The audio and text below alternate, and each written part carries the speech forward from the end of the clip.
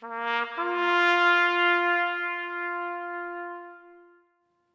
is a scene of my great granddad signing up in World War One.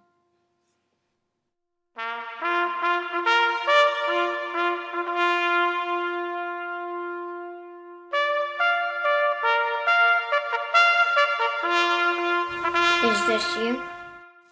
He was only 16, so they didn't let him join.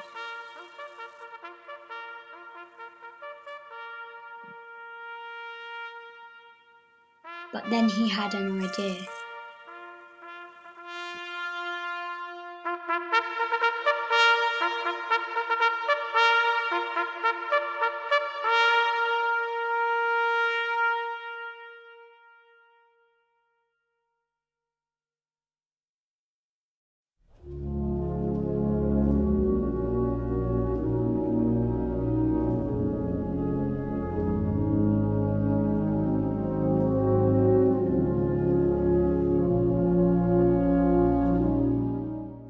This was him in the trenches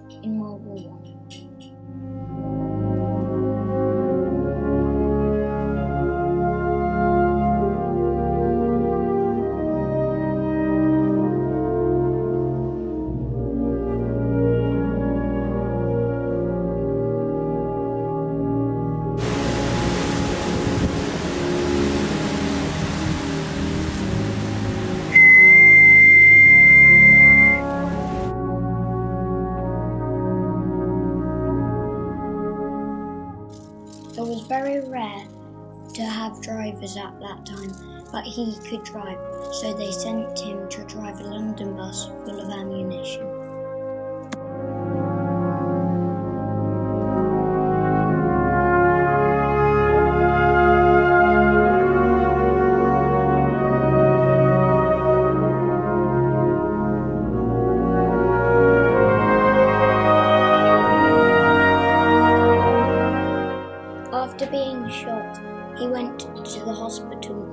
He got forgot about and suffered pneumonia and trench foot.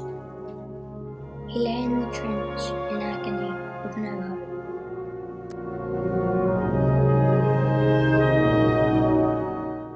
But then his mum came and rescued him all the way from England to France.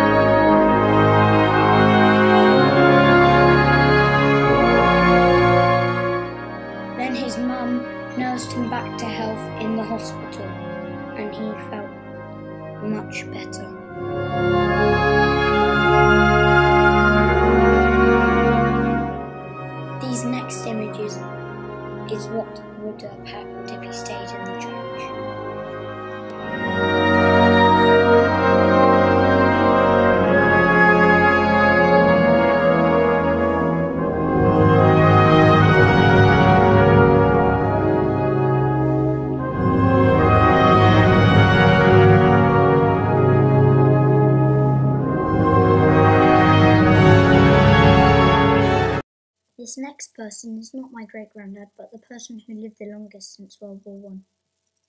If any man tells you he went over the top and he wasn't scared, he's a damn liar.